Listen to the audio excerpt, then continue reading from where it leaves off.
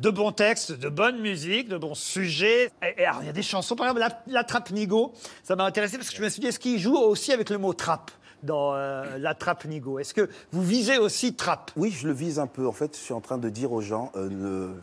je suis pas là pour donner des conseils à- à- aux gens, mais c'est euh, de ne pas tomber dans la trappe nigo. En gros, c'est, euh, il ne faut pas que chacun fasse exactement la même chose. Et même avec ce genre musical, on peut réussir à raconter autre chose, euh, Et- à être soi. Christine Sur, cette chanson en particulier, La Trappe Nigo ouais, quand vous dites je suis tombée dans la trappe Nigo, est-ce que vous dites aussi je suis tombée dans la trappe Niga? Ah oui, il y a les deux. Il y a les deux. euh, parce que euh, je- on, on dit qu'on ne peut pas, euh, avec une seule, une seule pierre, toucher deux lapins. Euh, ça, c'est le... Mais là, j'avais euh, deux personnes. hein, ceux qui aiment la musique, et puis pour d'autres, euh, ne pas euh, enfoncer des stéréotypes, entre guillemets. Mais c'est- quelqu'un qui a, qui a 8 ans qui parle. Voilà, je me suis imaginé, tiens, je commence, j'ai 8 ans, qu'est-ce que j'aurais fait? Et puis j'aurais dit à mes copains, oh, on va pas tous faire pareil, on va peut-être essayer d'être créatif et de faire, de faire un petit peu notre chemin. Oui, parce que c'est un, un rap où il y a de la drogue, des armes et tout ça, et qui n'est pas celui que, que vous faites et que vous avez fait. J'arrive pas. Il n'y a pas de nécessité. Mais euh, ouais, au départ, euh, j'en ai fait comme ça, un peu au début, euh, avec beaucoup de. Mais j'arrive pas. Plus revendicatif, plus... Oui, oui, oui. Euh, mais j'arrive pas parce que j'ai rencontré très tôt des gens qui m'ont dit qu'il fallait, je sais pas, qu'il fallait parler, que les mots servent à quelque chose, que il faut pas être inconscient. Ça veut pas dire d'être conscient, et mais il faut pas être inconscient parce qu'il y a des gens qui écoutent. Mais j'adore, mais je peux pas. Un, j'étais plus petit que les autres, plus fin, et je plus fin. Je parle en, Pas forcément d'esprit, mais de en muscle. carrure. En général, quand on précise, c'est qu'en fait, on a pensé soi-même Mais qu'on j'ai- était plus fin. Là, quand- pas tort. Mais non, mais j'ai eu très peur de ça. Et euh, Et vous avez non, raison. ça, ça m'allait mieux. Euh, souvent, j'ai fait les choses sur du jazz et c'est très très difficile de mettre des choses euh, agressives. Et puis, si j'avais fait ce genre de choses, euh, je serais, on serait tous pareils. Alors, j'ai toujours cherché un petit peu mon chemin et c'est ce que j'ai toujours conseillé à chacun. Mais en n'étant pas tous pareils, en faisant pas ce qu'ils font tous, vous, vous parlez à tout le monde. Vous êtes celui qui parle à tout le monde, et, aussi en même temps celui qui considère que tout a été dit des, thèmes euh, du rap.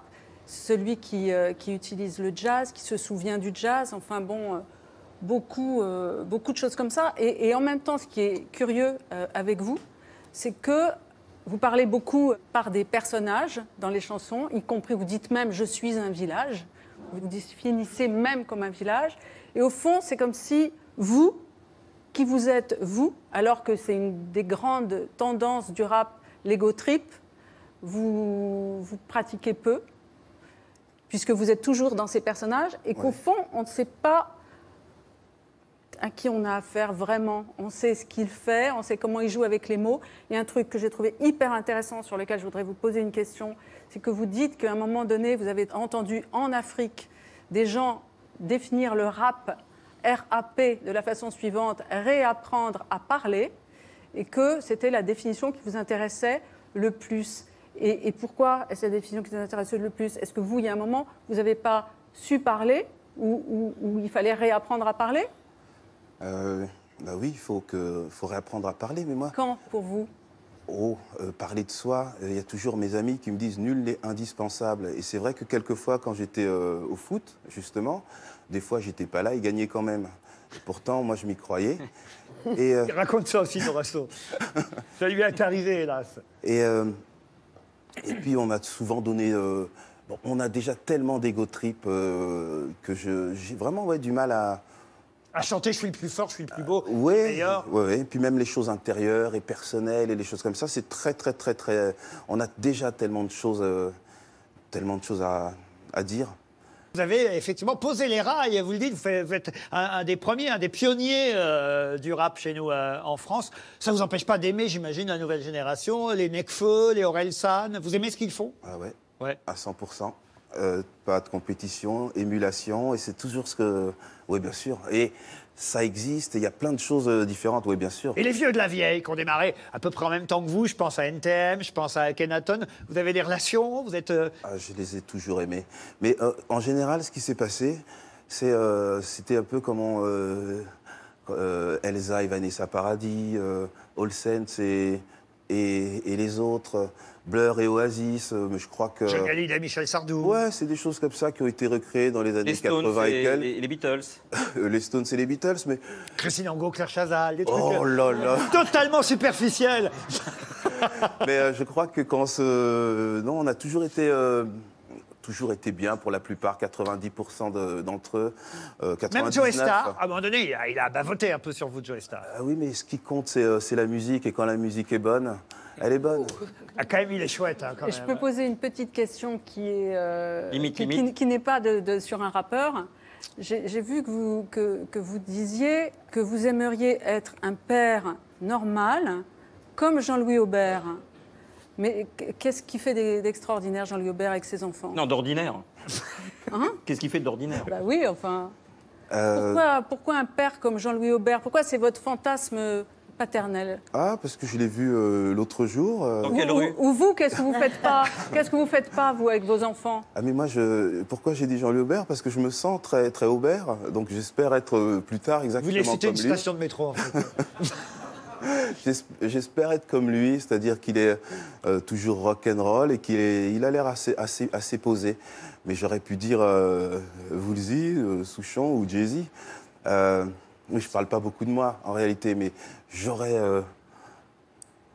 euh, Ouais, je C'est vrai, peut-être trouve aussi, bien. parce que, au fond, vous avez profité d'être papa Mais oui, pendant ces années où vous profité, J'ai n'aviez. vu grandir des neveux, des plein de gens, les enfants des uns et des autres, et ça a été, euh, voilà, j'ai appris quelque chose, euh, bah, comme les écrivains, par exemple, euh, à un moment donné, il faut parler de, de choses. Alors quelquefois c'est du vécu, quelquefois c'est du vécu avec de l'imagination, mais moi je voulais euh, faire mon expérience euh, à Millau avec le fromage de chèvre et, je l'ai fait différemment, c'est-à-dire une vie, euh, oui, un peu, avec un peu moins de musique. Quel âge il a votre fils aujourd'hui? Oh là là là là là là là.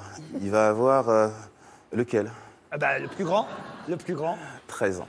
13 ans. Et, et lui, c'est vrai qu'à un moment donné, puis j'ai lu ça dans une interview, c'est pour ça que je me permets de vous poser la question, c'est vrai qu'à un moment donné, il vous a dit, mais en gros, tu fais quoi dans, dans la vie, toi, papa? C'est pas lui qui m'a dit, euh, Ah. je pense, euh, pour lui et aussi pour les neveux et, et tous Parce les qu'en fait, il autres. vous a pas vu bosser quasiment. Il est sur la moquette couché. C'est au studio, ça, c'est au moment où on fait les choses. Mais non, je me suis dit, euh, je ne dois pas être un bon exemple pour mes voisins, euh, pour mes amis, pour mes potes, pour les gens que j'ai au téléphone. C'est-à-dire que je, euh, je lisais, je me baladais, je... c'est pas bon, c'est pas des bons conseils de, de rien faire. Donc, euh, j'ai changé mon point de vue. Euh, je suis pas devenu euh, ultra, comment on appelle ça, maximisation des profits, travail et tout. Mais je me dis que quand même, c'est bien de, De montrer qu'on peut travailler. bah oui, de bosser, quoi. Sinon, on donne des très très mauvais exemples. Bon, donc vous allez, avec cet album, montrer un bon exemple à votre fiston. Je suis parti. C'est parti. Au fond, c'est vrai que ça a été bénéfique euh, de s'arrêter. D'abord parce que euh, c'est vrai que plus ça allait, plus on vous donnait les coups de poing dans la gueule. Quand on disait, ah, bah, ça y est, euh, MC Solar. euh, c'est comme ça, on brûle toujours ce qu'on a aimé. Vous avez fait de très bons albums. Puis sur les derniers albums, on commençait à dire, oui, tournant euh, euh, de toute façon, maintenant, c'est plus. euh, euh, voilà, c'est devenu euh, une sorte de. de euh, figure assise du rap, euh, il n'a plus rien à nous dire. Donc je crois qu'il était temps, au fond, de s'arrêter. Et puis on s'aperçoit, après dix ans, que vous nous manquez et qu'on a absolument besoin de vous. Donc de toute façon, se faire oublier, se faire désirer, c'est important aussi. Euh, oui, c'est pas, c'est pas volontaire. hein. C'est vraiment, euh, je me suis laissé embarquer. Mais là, ils m'ont appris à, à avoir un, un cahier de texte, euh, des notes, euh, l'ordinateur qui est connecté avec des emplois du temps. euh, J'ai fait une petite formation. Ça va être un bon retour. Mais est-ce qu'on peut travailler quand on a un problème aussi important que celui que vous avez eu avec votre studio? Enfin, pas avec votre studio, avec votre maison de disques Universal et Pascal Nègre qui retient les albums et qui le retient toujours, bien que vous ayez gagné votre procès. Est-ce qu'on peut travailler librement en se disant qu'il y a quelqu'un, finalement, qui a la possession de votre travail passé? Les premiers albums. Euh, oui, ça date, euh, ça date euh, d'avant, donc euh, j'en ai fait abstraction en- en- au passage de l'an 2000. Euh, je me suis dit, c'est un nouveau siècle et euh, je les ai oubliés euh, depuis, depuis l'an 2000. Donc je passe euh, sur autre chose, autre chose.